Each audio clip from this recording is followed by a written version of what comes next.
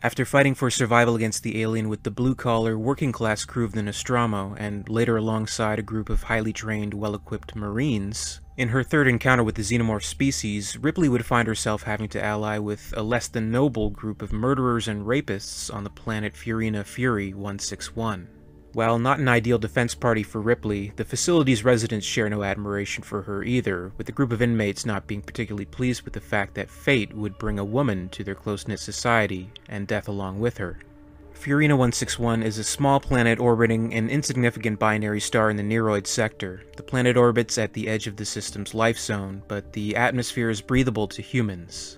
Temperatures can range from 100 to minus 40 degrees Fahrenheit throughout its irregular 10-day orbit around its binary star.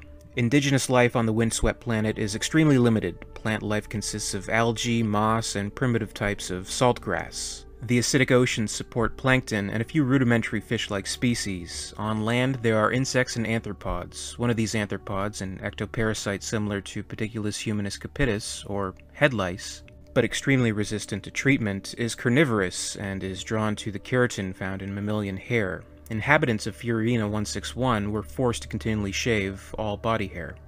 The only industry on Fiorina 161 was a 16 square kilometer foundry slash penal colony owned and operated by Weyland-Yutani. The facility started out as a mining operation in 2118. Natural resources exhausted by 2127, and Weyland-Yutani leased the facility and remodeled it as a Class C maximum security penitentiary for double Ys and other habitual offenders. Weyland-Yutani contracted to run the prison. At one time, nearly 5,000 inmates were incarcerated there. The company converted part of the facility into a lead works for manufacturing the lining of toxic waste containers and put the prisoners to work. Popular outrage at corporate slave labor and unsafe working conditions forced a scale down of the operation in 2175. Prisoners were relocated to appropriate facilities. 22 of the former prisoners, having embraced a millenarian, apocalyptic version of Christianity, agreed to remain on Fiorina 161 as a custodial crew. In charge of the inmates were two wardens and a medical officer employed by Weyland-Yutani. Each prisoner was issued a mandatory barcode tattooed on the back of the head using the standard numeric code 3 of 9. Information included reference number for DNA profile, date of birth, case file references, crimes for which the prisoner was convicted, jurisdiction, sentence, and proclivities. Clemens, Jonathan, medical officer, former inmate ID YY21680. The former Dr. Clemens was initially a prisoner on Fiorina 161 serving seven years for negligent manslaughter resulting from gross medical incompetence. After serving his time, he elected to stay as the chief medical officer. He was reinstated as a Class 3C medical practitioner. Clemens spent much of his time at the facility alone, not quite fitting in with his warden peers in Andrews and Aaron, and not quite fitting in with the inmates. After Ripley's crash landing on the planet, Clemens quickly grew a rapport with her, trying to help with the mysterious circumstances of her arrival any way he could, and even engaged in a sexual liaison with her. He'd go so far as to trust her with his long sad story of the morphine addiction that led to his conviction, and was among the first few victims of the xenomorph having been killed in the infirmary while treating Ripley's ailments. Dillon Leonard, 82013, serving a life sentence as a self confessed murderer and rapist of women. Dillon also acted as a religious leader among the Brotherhood, a group of inmates on Fury 161 who believed that the end of the world was at hand. Superintendent Andrews was tolerant of Dillon's God Squad, as they came to be named, as long as order was maintained. Dillon proved to be a strong ally for Ripley, initially by preventing her rape when she was assaulted by a group of prisoners, and later becoming something of a second in command when the Xenomorph's presence is confirmed and plans are made to capture and kill it.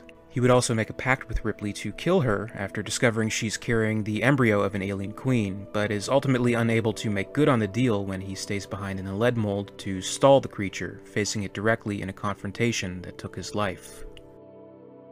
Golic Walter 92740, chemically resistant paranoid schizophrenic, Already serving a determinate sentence at Haverhill Asylum Facility for violent behavior, Golic rose late one night in 2167 and killed nine roommates with a sharpened spoon, later claiming that they'd all begged to be killed.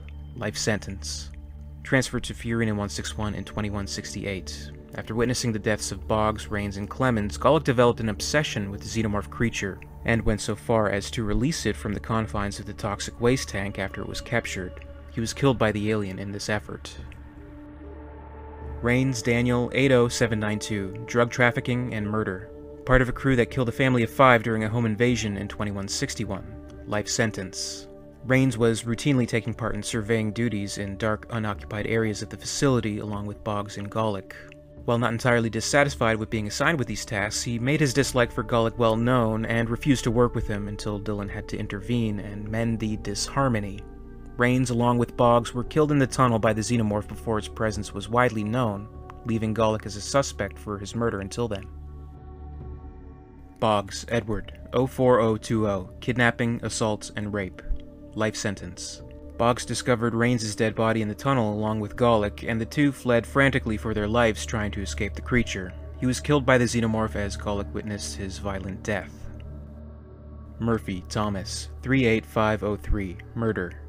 Convicted of grand theft space vehicle, responsible for the deaths of four people, life sentence. Murphy was the first to be killed by the xenomorph after its birth. While cleaning out a ventilation shaft, he discovered the alien which he initially believed to be a dog, and was horribly burned when the creature spit acid into his face, causing him to tumble into the large fan system and was diced nearly beyond recognition.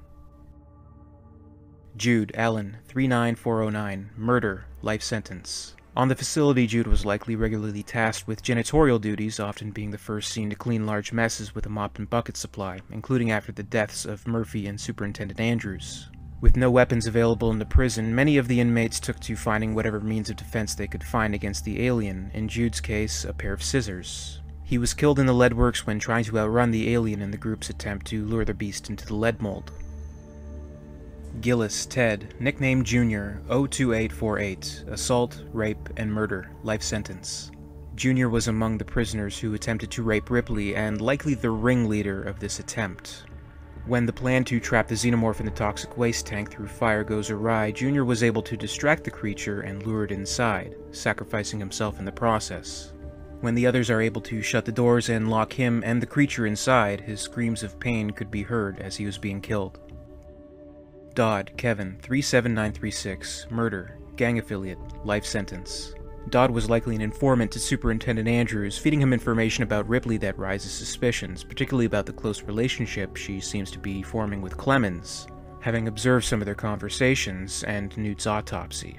He was attacked by the alien in the leadworks, and although Dillon was able to set him free from the alien's clutches, his wounds were already too severe and he soon died, and was used to bait the creature into the piston area. Buggy, Eric, 47592, serial killer, abducted and murdered six teenage girls in 2157 through 2158, life sentence. Buggy worked as a cook in the prison's kitchen and was the first to discover Golic drenched in blood in the kitchen after the deaths of Boggs and Rains. Buggy was tasked to operate the piston in the leadworks, and while in a panic state, he attempts to set off the mechanism early and is talked down by Ripley later composing himself and making a failed attempt to set the piston off when the xenomorph moves in on Dodd's corpse. Shortly after this, he was killed by the alien and his dead body was discovered by Ripley. Troy, Yoshi, 89882, murder, 25 year sentence.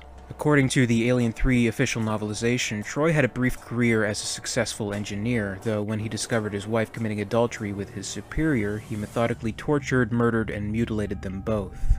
This pre-conviction career is alluded to in moments where we see Troy repairing and operating the piston controls in the leadworks. He was killed by the xenomorph in the leadworks during the attempt to lure it into the piston area. Gregor, Peter, 97077, molestation and rape, life sentence. Gregor was among the group of prisoners who attempted to rape Ripley and was later helped by her during the crynucleacetylene explosion after being engulfed in flames. He later acted with the group, trying to capture the alien in the leadworks by running through the maze-like corridors of the facility.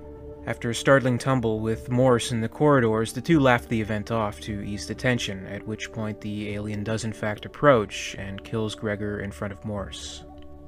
Vincent, Mark, 27370, mass murder, life sentence. Records are spotty as to Vincent's identity, and this has been a topic of debate. Though he was among the first to die in the group's bait and chase effort, and his dead body was discovered by David in the leadworks. William Clive, 32201, murder, known gang affiliate, life sentence. He was involved with Ripley's rape attempt at Fury's scrap heap. According to Alien 3's novelization, William was among the few remaining residents on the facility that didn't believe in the religion embraced by the other convicts and considered himself an atheist. While he was among those who survived the explosion in the first attempt to capture the alien, he ultimately met his fate in the leadworks, with his dead body being found amidst the chaos and confusion of the event. Ellis Carl, nickname Frank, 99243, murder, 20 year sentence. Frank worked in the abattoir alongside Murphy, preparing livestock such as oxen and chickens for the facility's food supply. He was involved in the response to investigate the crashed EEV and the first to discover the dead bodies of Hicks and Newt and the damaged remains of Bishop.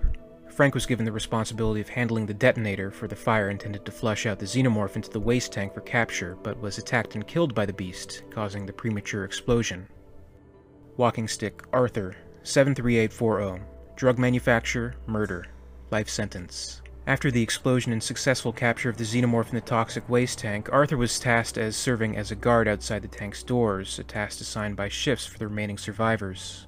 Though it would be on his shift that he encountered Golic, who was intent on freeing the beast inside, and slit Arthur's throat in the process, killing him instantly.